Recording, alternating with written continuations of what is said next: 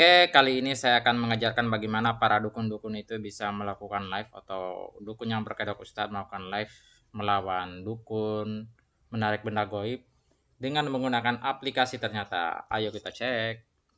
Ya di sini saya sudah punya aplikasi OBS Studio. Nah, di sini aplikasinya itu untuk live, bisa di Facebook, di Instagram ataupun di YouTube. Oke. Pertama kita melakukan pengaturan.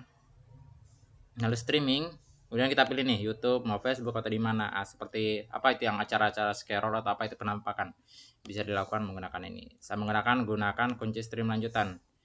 Nah, ini dapatkan kunci stream di klik ini saja. Nanti kita bisa dapatkan di YouTube. Kita tutup dulu. Ya di sini saya akan melakukan mulai streaming. Tapi tunggu dulu saya akan bukakan dulu video contohnya ya.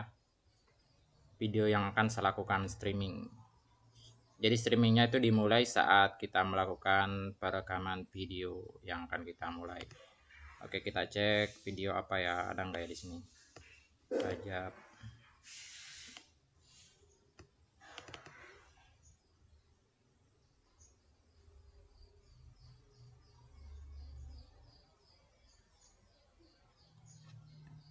Ya, contohnya begini aja ya, umumnya saja ketika kita memutar video kita melakukan mulai streaming.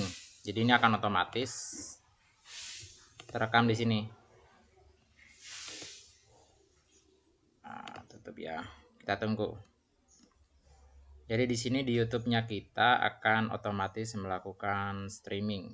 Nah, ini nih mulai streaming nih offline dulu ya. Hmm, tunggu dulu. Ada error nih Nah, kita mulai streaming. Koneksi sangat bagus, kita cek. Oke.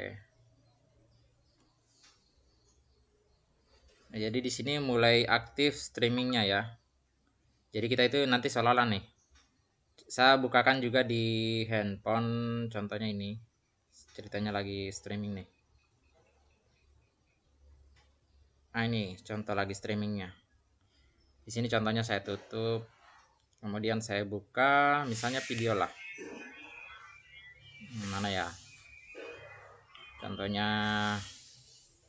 ini video saya dengan istri saya. Oke. Nah, jadi tinggal diputar begini saja. Nanti kelihatannya lagi Jalan live depan, streaming. Konyol. Lihat. Nih jadi kelihatannya nanti lagi sedang streaming kalau begini Nah, jadi saya lagi mengejar dukun kah atau mungkin melawan dukun, menarik benda goib. Begini saja caranya. Ternyata itu menggunakan aplikasi. Jadi saya melakukan video ini bukan untuk apa ya, tapi untuk mengedukasi masyarakat. Mengedukasi masyarakat ya, agar tidak gampang kena tipu atau penipuan. Nah, contohnya ya contohnya. Okay. tapi ini hanya berapa menit. Kalau kita putar yang berapa menitnya nanti. Jalan mi. Ke depan mi. Konyol.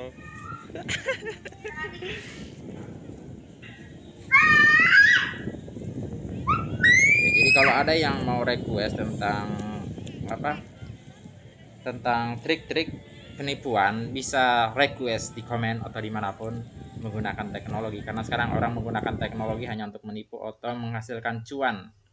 Di sini saya akan mengedukasi masyarakat karena biasa tuh banyak korban-korban tuh yang orang-orang di kampung saya kan tinggal di kampung. Yang banyak korbannya itu adalah orang yang di kampung nih. Kasihan mereka percaya begitu. Kemudian menceritakan ke anak-anak. Seolah-olah kita ini berada di zaman dahulu kala. Ya semoga dengan adanya channel ini insya Allah saya akan siap untuk mengedukasi teman-teman juga bisa request apa yang akan saya edukasikan di channel ini. Oke, okay? oke, okay, terima kasih. Kalau ada yang dipertanyakan, silahkan bertanya di komen. Assalamualaikum warahmatullahi wabarakatuh.